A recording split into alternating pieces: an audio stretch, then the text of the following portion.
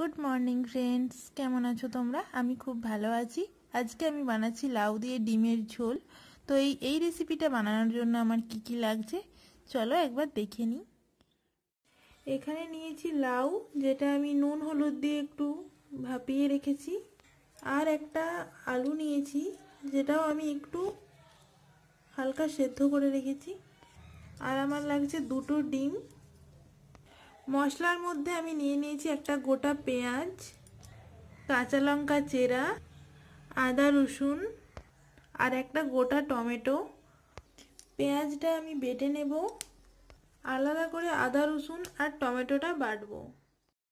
এখানে লাগছে লঙ্কা গুঁড়ো, একটু গরম গরম মশলা গুঁড়ো, একটু হলুদ গুঁড়ো। আর এখানে একটা দারচিনি নিয়েছি, একটা তেজপাতা, একটা লঙ্কা, পরিমাণ মতো নুন। আর ধনে পাতা কুচি। এখানে কড়া চড়িয়ে দিয়েছি কড়াই একটু সর্ষের তেল দিচ্ছি। তেল গরম হলে আলুগুলো দিয়ে একটু নেড়ে নেব। তেল গরম হয়ে গেছে, এবারে আলুগুলো এখানে দিয়ে দেব। আলুগুলো ভালোভাবে নেড়ে নিতে হবে। আলুগুলো নাড়া হয়ে গেছে, এবার আমি আলুগুলো তুলে নিচ্ছি।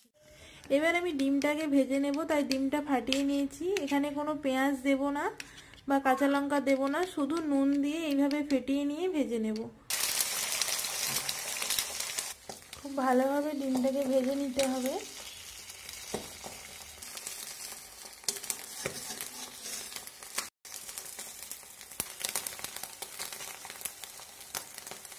ডিমটা ভাজা হয়ে গেছে। আবার আমি কড়াই তেল দিয়ে দিচ্ছি। একটু ভাজা ভাজা হয়ে গেলে এখানে আমি টমেটো বাটাটা দেব। চেরা কাঁচা লঙ্কাগুলো দিয়ে দিচ্ছি, সাথে টমেটো বাটাটাও দিয়ে দিচ্ছি। বাড়িতে টমেটো না থাকলে এখানে টমেটো কেচাপও দিতে পারো। সাথে এই লঙ্কা গুঁড়ো, হলুদ গুঁড়ো, নুনটাও আমি এখানে দিয়ে দিচ্ছি। এবার খুব আস্তে আস্তে মশলাটা ভেজে নিতে হবে যাতে কাঁচা মশলার গন্ধ না থাকে। মশলা একদম শুকনো শুকনো হয়ে গেছে, এখানে একটু জল অ্যাড করব। আবার কিছুক্ষণ এটা হতে দেব।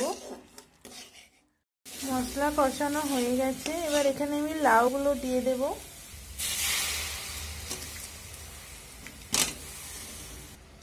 লাউ দেওয়ার পরে একটু এইভাবে নেড়ে নেব। লাউয়ের জলটা যতক্ষণ না শুকায় একটু নেড়ে নেব।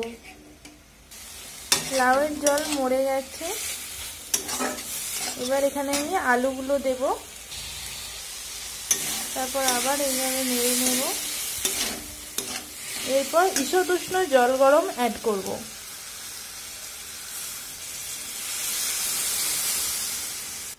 জলটা ফুটে গেলে ডিমগুলো তুলে দেব। তার আগে এই ধনে পাতা কুচিগুলো আমি এখানে ছড়িয়ে দিচ্ছি। ফুটতে শুরু হয়ে গেছে, এখানে আমি ডিমগুলো তুলে দিচ্ছি।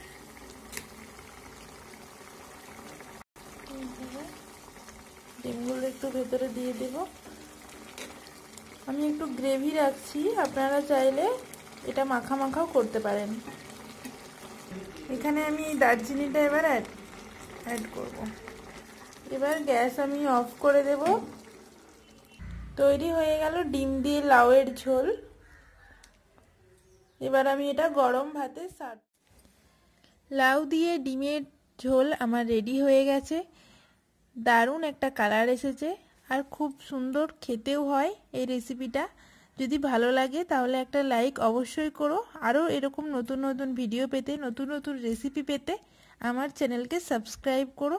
তবে এখনের মতো এই পর্যন্তই থাক। ভালো থেকো, সুস্থ থেকো। বাই।